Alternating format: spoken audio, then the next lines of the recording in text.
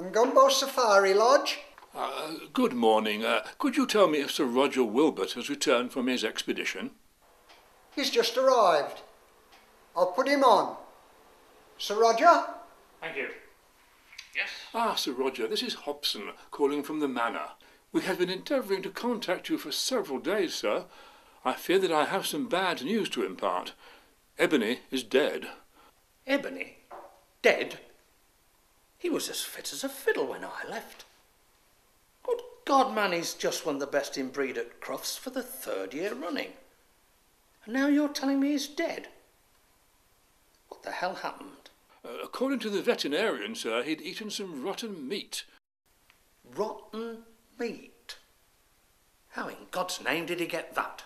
From King's Charger, sir, or more precisely from King Charger's right hind leg. I regret, sir, that your horse is dead also.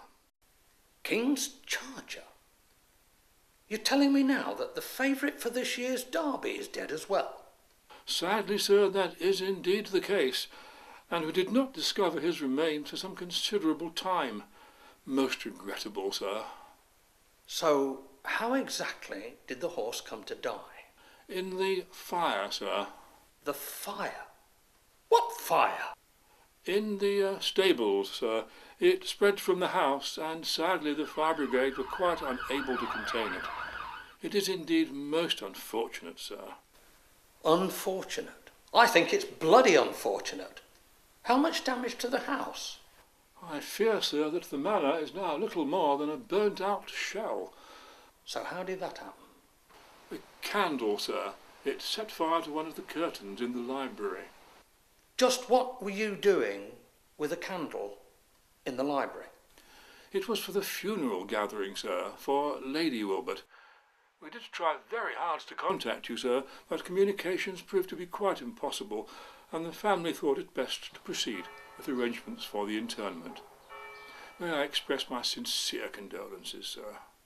So now you're telling me that my wife is dead too. Okay, Hobson. Perhaps you wouldn't mind telling me just how Lady Wilbert came to die. It was an unfortunate misunderstanding, sir. I thought that I'd heard an intruder in the night. There have been several reported incidents recently, and it was very dark, and I fear that I struck her ladyship upon the cranium with one of your golf clubs, sir. My apologies, sir. It was quite unforgivable of me. One of my golf clubs?